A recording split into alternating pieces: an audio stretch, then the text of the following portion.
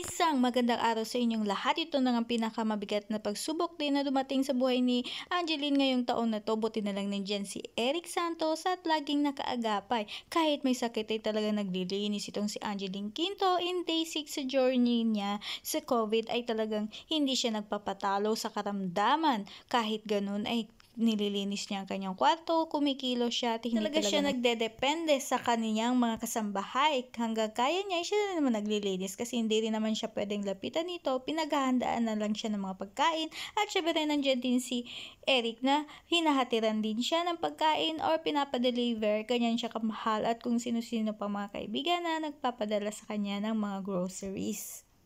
Ganto talaga si Angeline Quinto, napakasipag na babae.